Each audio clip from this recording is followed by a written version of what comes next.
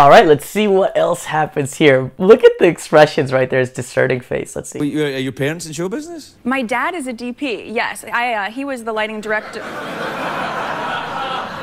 dad. Director of photography. My dad.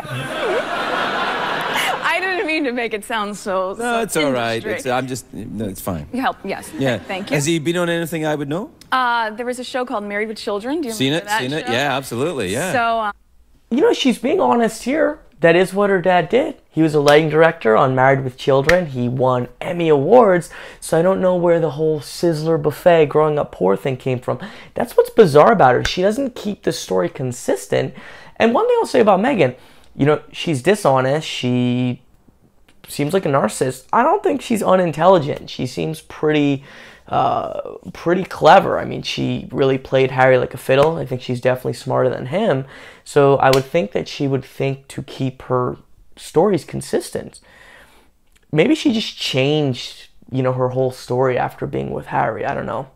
I grew up on the set of Married with Children every day after school for 10 years. I was there. wow. I know. It's a very perverse place for a little girl who went to Catholic school, no less, to grow up because I'm there in my school uniform, right? Oh, yeah. Private Catholic school. And again, I will say Craig Ferguson, I think, keeps things pretty pretty entertaining. And then the guest.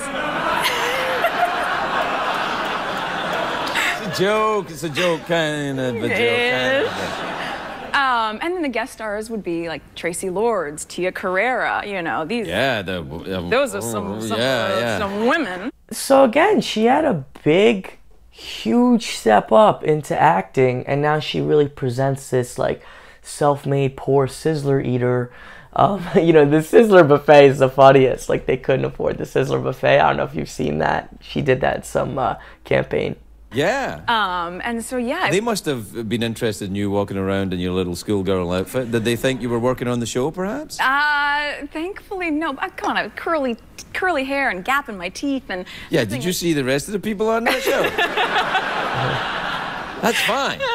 yeah, I guess it could have worked. I mean, I, they watched me grow So up. is your hair curly naturally then? Is that what you're saying? It doesn't remember what it once was, but yes, I No, think I mean, once upon a time it was curly. Yeah. Really? Yeah. I had very curly hair. Did you know? What does that mean? It doesn't remember what it once was. I don't know. It's kind of interesting with all the stuff she says. It sounds like she like hates curly hair, hates the idea of. I'm looking at my hair a little bit now of her hair being curly. I it suits I have to you. iron it to get it like that. Flat iron it. Lots of product. You do. Mm, yeah, I like to put products in my hair. You do. You have great hair. Yeah, but products from the supermarket.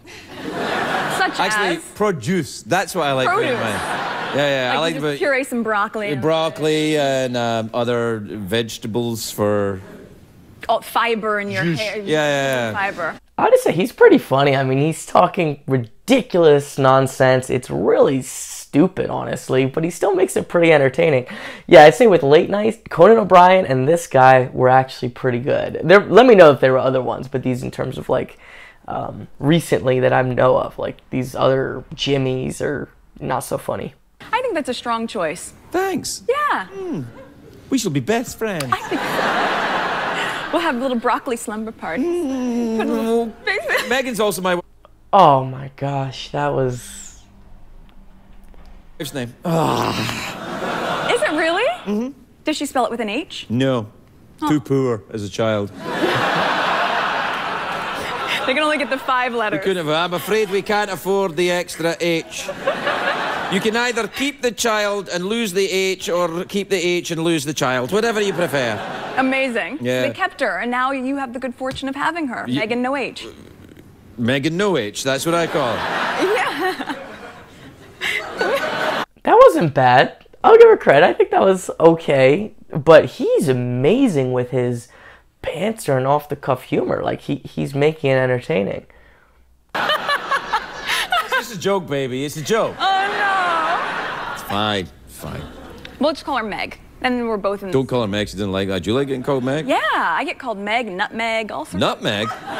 Nutmeg. That's I think I've seen some commenters say nutmeg. Uh, kind of threw herself under the bus a little bit. what was that? what was that shaking? I have no idea. But again, I think she comes off a little better in this one, but just some weirdness. Let's do an awkward pause and get you out of here. Okay. ready? Uh, yeah. Mm.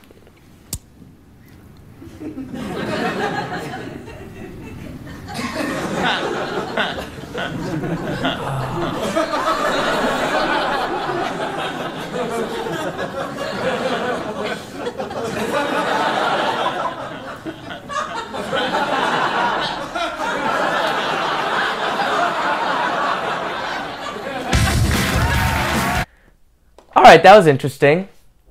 I think he did a pretty good job of making her look uh, a lot more charming. And again, she seems to have changed over time.